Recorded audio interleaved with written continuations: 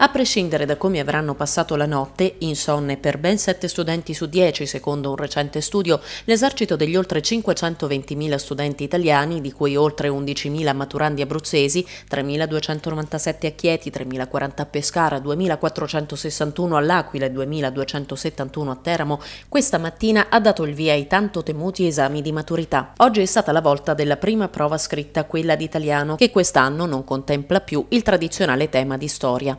Tra le sette tracce proposte, due di letteratura italiana, Il porto sepolto di Giuseppe Ungaretti e Leonardo Sciascia con un brano tratto dal romanzo Il giorno della civetta, tre temi di tipo argomentativo, uno ispirato a Corrado Staiano e alla sua eredità del Novecento, un brano di Tommaso Montanari sull'uso del futuro e uno dello scrittore Philip Fernbach sull'illusione della conoscenza, e due temi di attualità, uno dedicato al ruolo sociale di Gino Bartali, il campione di ciclismo nominato giusto tra le nazioni per aver salvato numerosi ebrei, e un altro sul generale dalla dalla Chiesa ucciso dalla mafia con la moglie nel 1982. Donatella D'Amico, dirigente scolastico del liceo classico Gabriele D'Annunzio di Pescara, questa mattina come li ha visti i suoi studenti?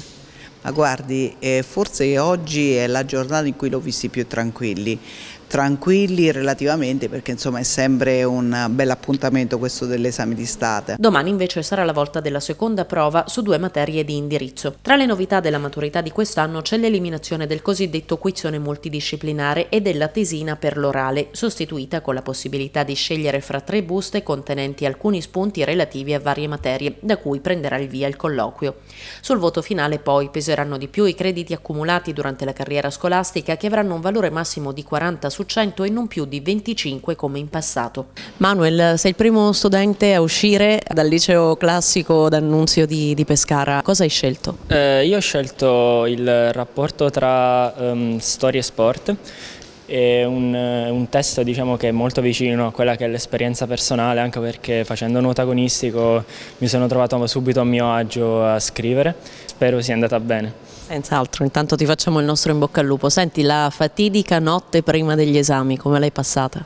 Ma in tranquillità, ieri ci siamo riuniti noi terzi liceali del, um, qui sotto scuola e abbiamo, fatto, abbiamo cantato un po' e, diciamo, i, i soliti riti pre-esame e poi siamo andati a casa verso le dieci e mezza. Temuto, sognato e a tratti contestato, l'esame di maturità segna il passaggio dalla spensieratezza della gioventù agli impegni di un'età più adulta e consapevole che inevitabilmente determina un cambiamento importante anche nello stile di vita, riproponendosi spesso come il terribile ricordo della prima vera difficoltà da affrontare in solitudine facendo affidamento solo sulle proprie forze. Lei l'ha mai sognato? Che poi nei sogni diventa sempre un incubo, mai un ricordo positivo?